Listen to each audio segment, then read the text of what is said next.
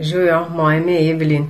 Brigiti sem se prijavila na hvaležno hrbtenico, zaradi tega, ker je bila v opisu te vadbe uh, napisana, kako lahko odpravite bolečine brez tablet. Vedno mi je bilo všeč preventiva, veliko bolj kot kurativa, poleg tega vam te vaje ostanejo zavedno.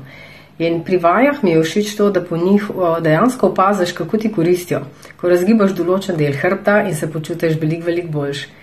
Uh, Rajš kot uh, kakšne drage masaže, imam seveda tudi vaje, zaradi tega, ker ne samo, da preprečite, tudi če vas že kaj boli, v tem primeru lahko veste, kako to izboljšati, zato da, v, da bo bolečina prenehala. Najljubše moje vaje so bile vaje drugega tedna, zaradi tega, ker upravljam pretežno sedeče delo in to so vaje, kjer razgibate zgornji del hrbta, ramen in vratu. Uh, fino je pa tudi to, da enkrat tedensko dobite možnost uh, pogovora z Brigito v živo preko Zuma. Lahko jo vprašate, karkoli želite, karkoli vas zanima, če imate kakšne težave, če ne veste, kako kaj narediti. Uh, boste pa zelo hmalo pazili njeno strokovnost.